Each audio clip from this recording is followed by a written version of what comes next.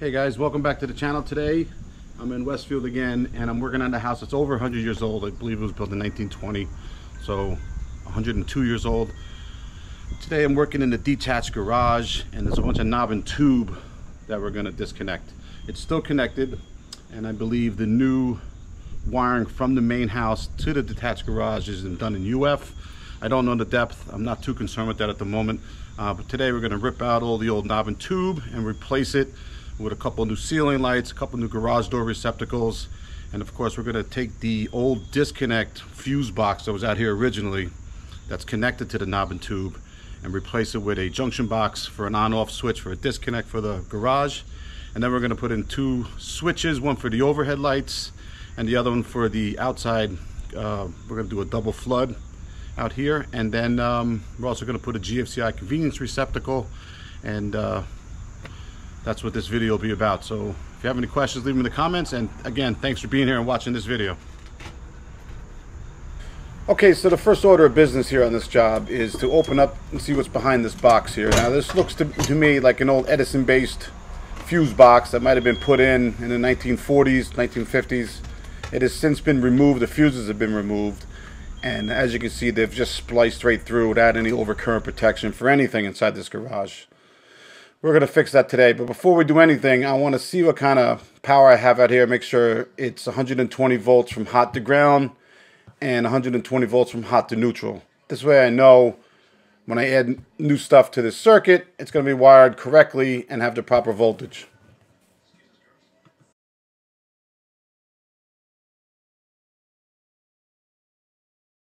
What I'm doing here is I'm using this red vinyl electrical tape to mark my switch leg. So with the power coming into this detached garage, there's another piece of UFR. So there's two cables coming outside from the house.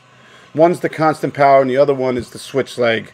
And so with the red vinyl tape, I'm using that to identify these conductors. So when I tie in at the end of the day, I know which is which. The switch leg is going to control our new outside double flood light bulb holder. Uh, right now there's a keyless light there connected to the knob and tube. And uh, of course, we're doing away with all the knob and tube in this garage and installing new. So that's what this uh, switch leg does.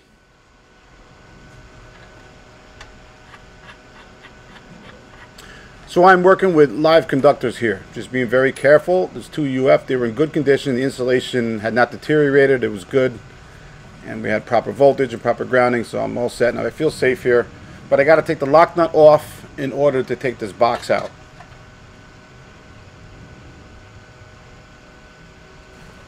I really prefer doing work like this. Um, we call this old work, remodeling, rewiring. Um, I worked for several contractors when I first started. Uh, we were wiring townhouses and um, and condos. But that got real boring real fast. They were very cookie cutter.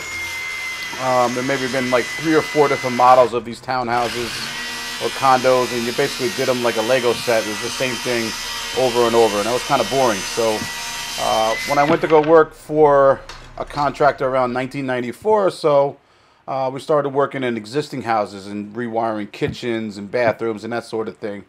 And um, he really showed me the ropes, and uh, I learned from the other guy that worked there too.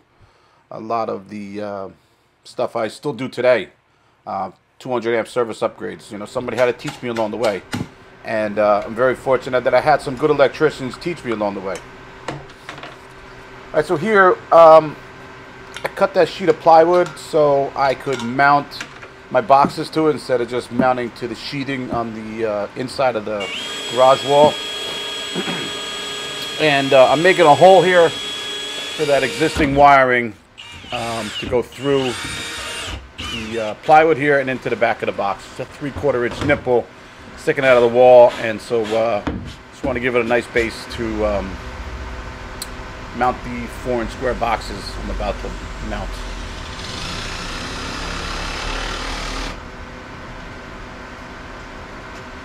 I'm a huge fan of that two foot level there, that Klein level. It uh, doesn't have a light, but um, more and more as I move forward here, I use my the uh, the box level, the two foot level, um, draw straight lines, draw plumb lines, uh, use it a lot more often. This is the uh, Milwaukee M12 um, bandsaw. It's fantastic. For years, I didn't use a bandsaw. I would just use a hacksaw or a sawzall to cut it, and before that, even a hacksaw. Uh, but I haven't used those in a while since I bought this bandsaw to cut the EMT.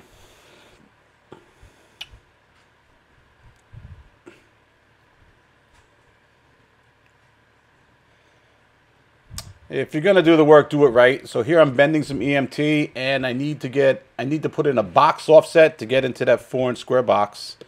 And then I also need to bend a three and a half inch offset to go around the top plate at the top of the wall, which you can't see because I have the garage door open. Um, but I will show that to you later on in this video to see uh, what I do. And so there's gonna be two pieces of EMT going up the wall. The one piece of EMT is actually going to go to a junction box, which is going to house the wiring for the two keyless lights that I'm going to install. And the other circuit will be for the two garage door opener receptacles, which will also be mounted near those lights. So both of those MC cables will go into a junction box, and then we'll sleeve some uh, THHN down this EMT into our box to get power. Yeah, so there was a lot of junk in this garage, and I had to move a bunch of stuff around to get this work done. Um, but it was a beautiful day, and um, I eventually put my AirPods on, and I just listened to some 70s on 7, and maybe some Eddie Trunk at 3 o'clock when he comes on. Uh, this is my ideal type of work day here. So right here, we'll do a, a, short box offset, and I never measure for that. It's just, um, I've done so many. I just do this by feel. and then I'll take some measurements and I'll do another um, offset. Uh, the, the, the, second offset's a little bit more because the conduit going up the wall on the left hand side, uh, if it goes straight up, it would hit a rafter. So I make the offset a little bit larger than it needed to be just so I can um, have it going off to the left a little bit. I hope that makes sense so that it's out of the way. And that second piece of conduit on the left will be where the switch leg wiring MC cable will go down the conduit for the outside front uh, double flood lamp holder, which you'll see in a little bit. Half inch and three quarter inch EMT bending isn't very difficult, um, but it does take a little bit of practice. So if you're watching this video and you'd like to learn how to bend half inch EMT conduit, I would suggest you buy 100 feet of half inch EMT, which would probably run you about, gee, I don't know, maybe $60 now. I mean, like 10 years ago, it was like 20 bucks. Uh, and maybe, maybe I'm wrong, but that, it was cheaper than it is now. And uh, just start bending. Um, there's all kinds of charts online. Uh, I would suggest maybe getting Uglies, the Uglies book. They sell it at Home Depot, and there's charts in there for measurements on how to make your bends. Here, I like to use the 30 degree bend marks uh, because the math is simple. It's just times two for your bends.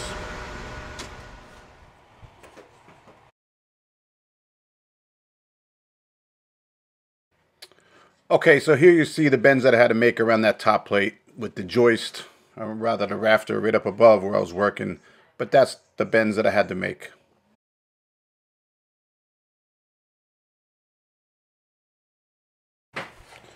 So what I'm doing here is I shut that garage door and I'm going to run a, a piece of 12-2 MC cable. Now you could use 14-2. I like to keep 12-2 on my truck in case I need to run a 20 amp circuit. Instead of having two rolls of MC cable, I just use 12-2. Um, and if you don't know what MC cable is, MC cable is a light uh, armored cable that actually has an enclosed uh, insulated equipment grounding conductor. So you got a black uh, hot conductor, a white neutral conductor, and an insulated um, new, uh, uh, uh, equipment grounding conductor. So I keep 12-2 on the truck. And so I'm taking away some of the old wiring that's there first, and then eventually I like to run the wiring up top where maybe it's concealed a little bit and out of the way uh, so there's no physical damage to it. I use the MC cable in an exposed garage like this just to prevent any physical damage from happening from to the cable.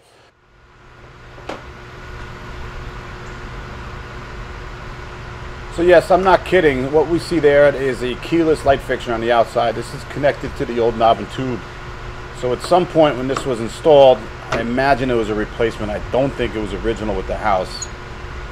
To think that somebody thought it was okay to put this open keyless light fixture without a box on the garage like that and call it a day, just wow. Um, you're obviously not an electrician. Definitely don't have a license, that's for sure. And uh, I'd imagine it was either the painter or an old carpenter that repaired that. It might have been like that originally. I don't know. All right, so what I'm going to do there is put in this bell box, okay? And in this bell box,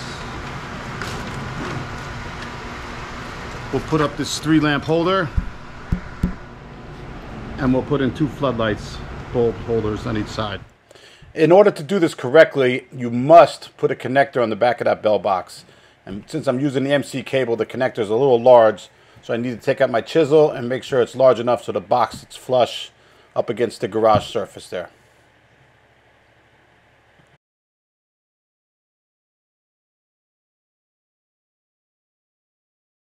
In the industry, the nickname for this box is a bell box, like I said, and that's the name of the manufacturer that used to make them. The real name for these is just a weatherproof box, an exterior box. and it's rated to be used outdoors. Uh, so you might use these for GFCI receptacles, outside lights. There are alternatives to using this box, but in this particular situation, this was the best choice to mount the two flood holders. I was just told to do a no frills type of installation, just so there's lights on the back of this house. And uh, so that's what we did. So I make sure that connector is tight. And then uh, we'll attach this bell box, the uh, weatherproof box, to the garage. Once we get the box mounted, we'll uh, put together the floodlights onto the three lamp holder. And we'll mount the three lamp holder to the bell box.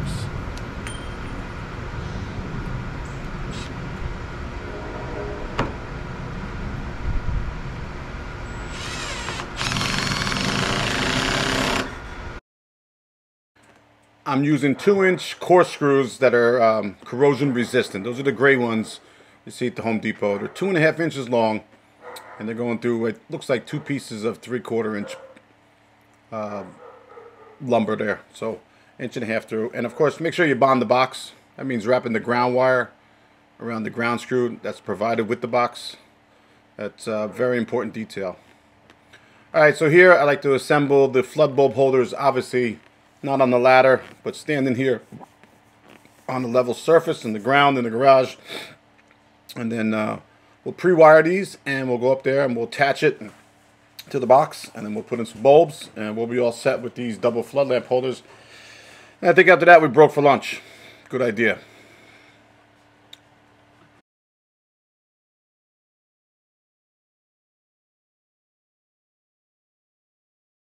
on this three hole uh, cover plate that I'm putting on here, two of the holes are being occupied with the flood hole the flood holders, and of course they come with a um, with a blank that also threads in there in the middle.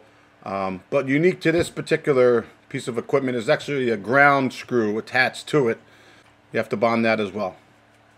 And so, uh, and when it's in a position like this, which it normally won't be, it'll still be connected to the grounding system. It'll be bonded.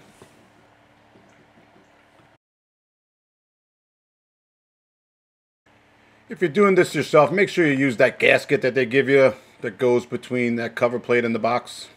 That's pretty important in keeping water out. This is in a spot of the soffit though where I don't feel that the water will get in there easily. but you never know. And of course I got to do it. So what I'm installing here are PAR 38 LEDs. These are the equivalent to 90 watts. Uh, halogen. They are 1200 lumens and they have a 3500 Kelvin temperature rating. Speaking of Kelvin temperature rating, how many of you people out there, when you buy light bulbs, you look at the information on them besides the wattage and uh, maybe the, if they say daylight on them. Um, if they do say daylight on them, that's a very high Kelvin temperature. That's going to make your lights whatever you're trying to light up look very sterile in my opinion. Uh, almost like a doctor's office or a dentist's office or even an office space.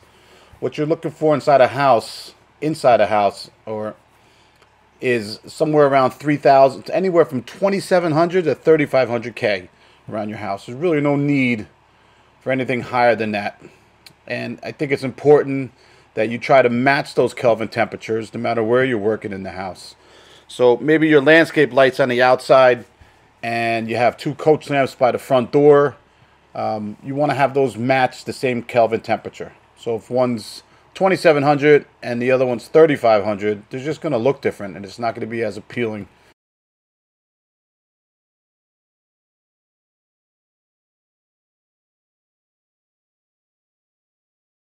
So I read the comments and I actually learn a lot from those comments. So keep them coming. That's good.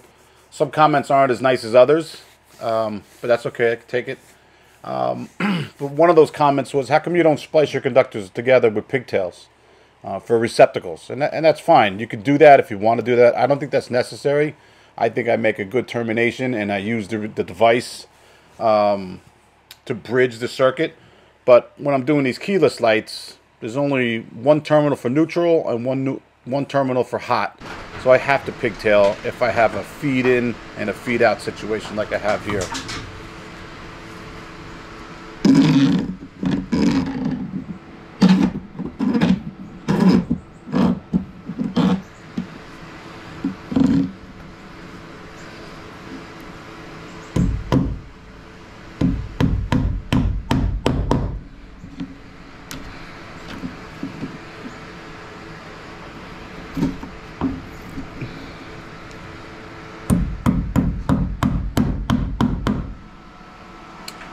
Such a believer in the headlamp that I'm using here. It's made by Milwaukee, and as you can see, I love Milwaukee. I got so much stuff, even my hammer here. And I, I used an Estwing for years, um, but I'm not sure what happened to my latest one. It's probably on my truck. I just started bringing this one to work with me. Um, this headlamp is 600 lumens on high. So it takes a USB lithium battery, and I'm not sure the size of the battery as far as how long the amp hours. Um, but as you can see, it makes my work real simple. Uh, I can see what the heck I'm doing. Because uh, usually I'm working in a crawl space or up in an attic, and a lot of times I don't have a lot of light. That's why I'm there. I'm an electrician. I'm there to bring the light. So I got to have lights on me all the time. Uh, I do like to use the GoPro head mount, uh, but not as much. I'm noticing a lot of people don't seem to like that, and I kind of don't like it now that I've seen it a few times. Uh, sometimes it makes sense to do it to explain something that I'm doing. But I do like to have this headlamp on most of the day.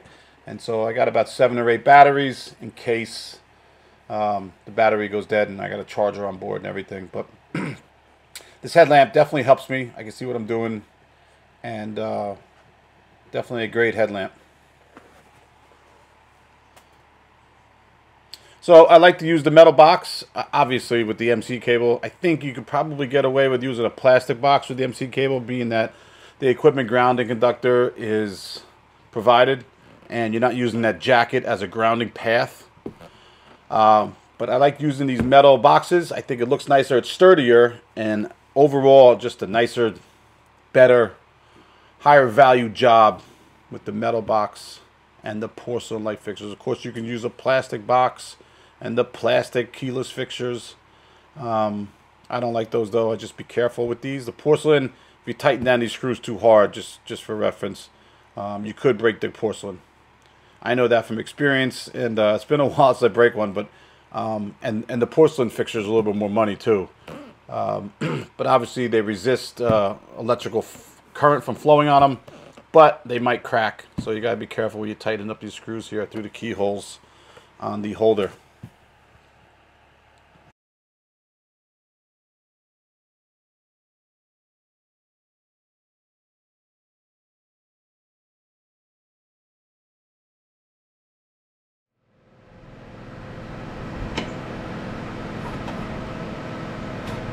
So here's my junction box for the, um, the two ceiling lights and for the two receptacles. And so I've snaked up some THHN, snaked up four conductors. I'm using the red for my lights and I'm using my blue for the receptacles. And of course I ran an equipment grounding conductor and a shared neutral for both of those loads. This is on top of the ladder. And the wiring to the left right there is that garage floodlight that we put in earlier. As you can see, I just stripped back the MC cable and, and, um, and pushed it down the conduit. Of course, I got the what's known as a from to connector on the top of that conduit on the left.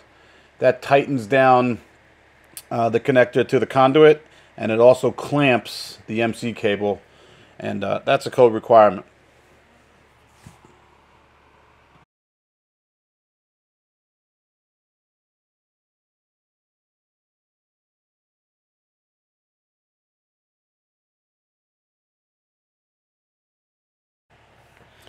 Now this is obviously down below where I'm going to be putting in a uh, tamper resistant GFCI receptacle and a Decora style switch uh, only because I like to use these um, block block four inch square covers.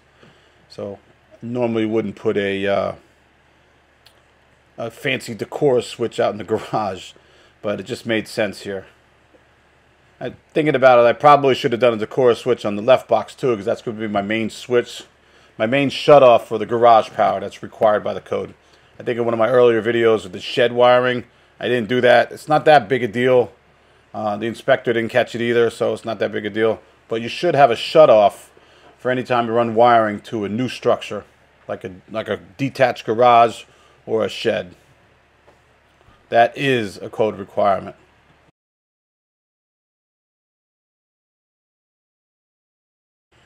Another code requirement we could talk about here is um, obviously these metal boxes, you want to bond them with the equipment grounding conductor.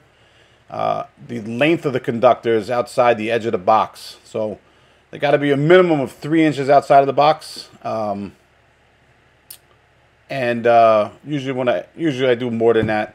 Um, when they come out of the connectors coming in, they got to be a minimum of six inches. Anyway, um, I wouldn't take a tape measure to measure that. I usually put my fist up against the box and I cut maybe an inch past my fist and that's usually enough conductors. And there you can see we got our proper voltage. I turned off the disconnect switch. It makes that green light blink. That means that the power's been off.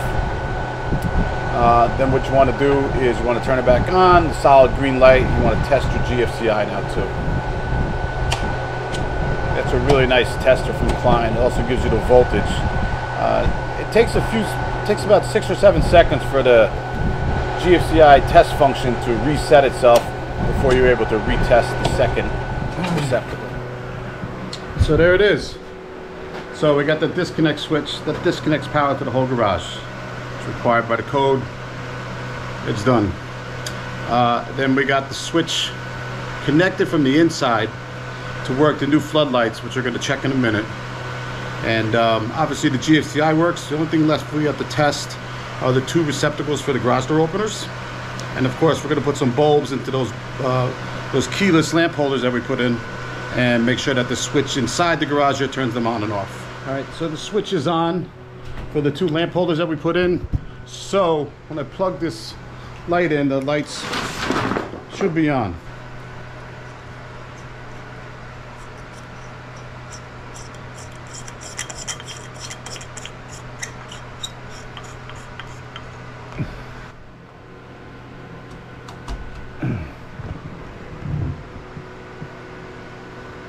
Looks good. And here's the light.